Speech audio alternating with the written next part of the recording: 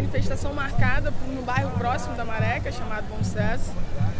É, essa manifestação parece que foi desmarcada, mas um grupo, enfim, continuou e foi para lá fazer a manifestação. Essa manifestação virou um grande, desceu a Brasil e depois virou um grande arrastão. É, em frente à Avenida Brasil tinha um monte de usuários de crack que também né, se integraram a, essa, a esse arrastão e quebrança e tal. Depois, e o que, que aconteceu foi a polícia foi o tempo inteiro tentando é, dispersar a manifestação. Antes, antes da, da... Antes, antes de entrar na favela. É, o que acontece é o seguinte, nesse processo de dispersar os manifestantes, né, e, o, e os usuários de crack, eles entraram para dentro da favela. E aí começou um tiroteio na, na favela pela que a, quem, quem fez a primeira dispersão foi a polícia militar. Parece que o BOP veio junto também. E aí nesse processo morre um sargento do BOP.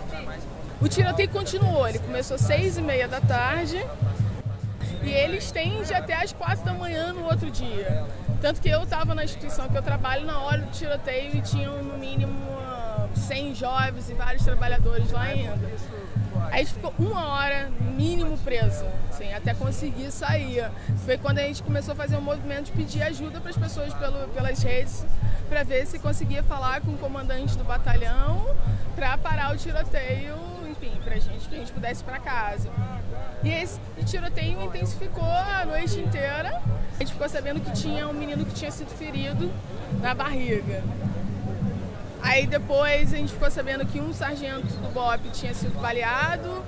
Quando eu cheguei de manhã, na maré de novo, a gente ficou sabendo que tinham 10 mortos, 13 mortos. Então, aí na terça-feira, é, o Observatório de Favelas, que é uma, uma, instituição que tem na Maré, a Redes, a Anistia Internacional e várias, Luta pela Paz e várias outras instituições fizeram um ato na Maré. Né? Porque a polícia ficou e a gente queria que a polícia fosse embora. A gente tinha muito medo que houvesse uma chacina. Os representantes das instituições ficaram o dia inteiro negociando com o comandante do batalhão e do BOP para que ele se retirasse. A gente teve uma resposta do comandante que a polícia ia embora às 11h30. Os moradores de favela, eles não são contra a segurança pública. A segurança pública ela é um dever do Estado. Né? Da mesma maneira que a gente quer uma educação na maré e uma educação de qualidade na maré, a gente quer que as pessoas tenham direito à segurança. Agora, que tipo de segurança é essa? A gente não quer uma polícia que entra, né, reprime e mata. Isso, isso a gente não vai mais aceitar. É super importante que a população entenda a dinâmica que acontece na favela. Entenda que nem todo morador é bandido e nem todo morador é conivente com tráfico.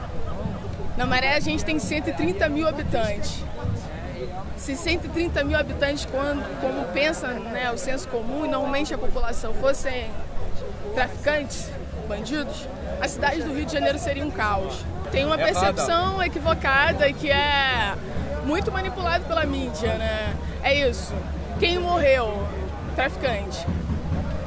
Não interessa quem morreu, o que, que ele, qual era a sua, a sua atividade. É, é, é, uma pessoa e ela não tem direito de morrer, o Estado não tem direito de tirar uma vida de ninguém. País que tem tanta desigualdade, tanta gente que morre de fome, tanta gente que não tem acesso à educação de qualidade, à saúde de qualidade. Tem gente que não tem terra, é, tanto em dinheiro seja investido num evento que na verdade não tem retorno nenhum para a sua população. Na verdade é uma festa para as pessoas de fora. Né?